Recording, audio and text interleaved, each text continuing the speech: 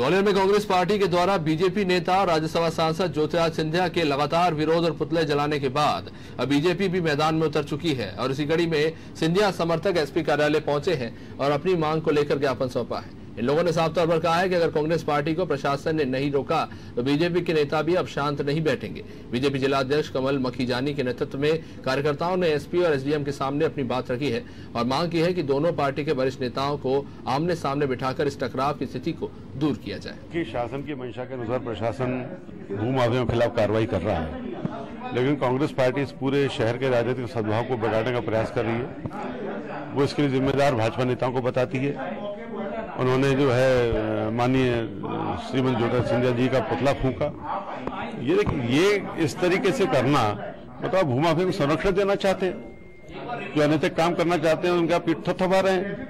आपको ये चाहिए कि जनता के हित में काम हो रहा है, उसमें प्रशासन की पीठ थपथपाएँ उसकी प्रशंसा करें और उनका सहयोग करें, क्योंकि ये जो पूरा अभियान है, वो जनता और शासन के हित का अभियान है। पोलिटिकल पार्टी के द्वारा उनके एक वरिष्ठ नेता के अगेंस्ट में माहौल बना, बनाया जा रहा है, पुतले जलाए जा रहे हैं। उनका कहना था कि इससे हमारे जो शहर की फिजा है वो खराब हो रही है।